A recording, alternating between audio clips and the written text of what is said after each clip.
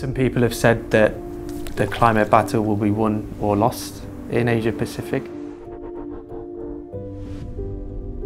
So what makes finance and climate finance in Asia Pacific different or special? It's urbanizing rapidly. You get much higher levels of um, consumption that you know result in emissions. On one hand, Asia Pacific, particularly Asia, really need to cut down on emissions.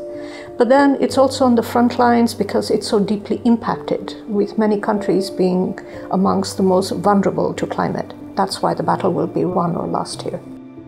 I come from a rural area in Pakistan. You can call us uh, subsistence farmers. We know the impact of climate change. When I was a kid, we used to have cotton uh, in our area. Uh, we used to have a lot of rice. But because of the changing weather, because of water scarcity, these two have disappeared over the period of time. Nowadays, we see examples in Mongolia where herders have to be moved off their land so they can build a dam where now the lifetime of that dam may be extremely short due to climate change because the Altai Mountains are losing their glaciers and that dam by the time it's built may not have enough water behind it to generate electricity. I don't think we can think about development without thinking about sustainability and so finance is really the next question since that's one of the main barriers where do we find the money for that transition to allow for an equitable and timely transition? Climate finance facilitates climate action. And to me, climate action is very important area for investment because it's something that we feel and experience as individuals that we need to have solutions for. So we need a lot of uh, technological, financial and capacity building related innovations uh, to achieve this. So when we say the need, I mean globally they estimate by 2030 we need to be spending at least 4 trillion dollars, not billions, trillion dollars.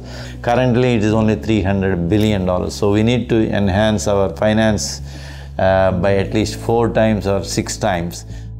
And finance is key because finance mostly comes from what countries spend themselves in terms of their budgets and what they mobilize domestically.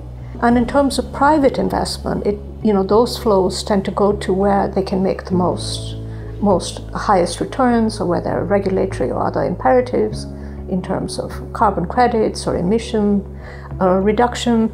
And so it's quite skewed. Many of the countries that really need finance don't necessarily have access to it. There has been a pledge by developing countries under the Paris Agreement to reach $100 billion per year in terms of climate finance from developed to developing countries, but they are still far from achieving that threshold.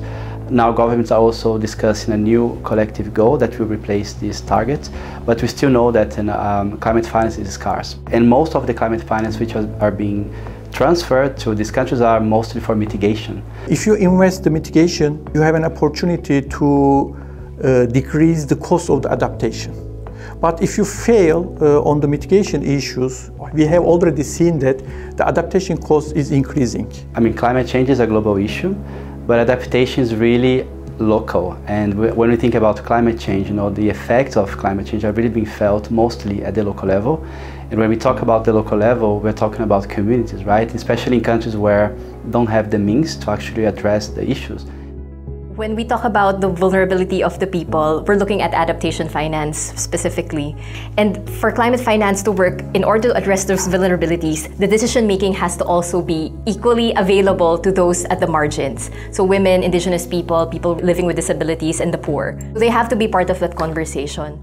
We normally describe a whole of government approach to climate finance, but we should be thinking about a whole of society approach to tackle climate change and uh, in the climate finance space, therefore, the role of the governments is important as we know, but uh, at the same time, the role of the private sector, the role of the civil society, and the role of citizenry per se becomes equally important.